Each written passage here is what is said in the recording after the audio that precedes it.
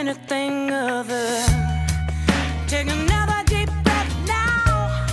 It's just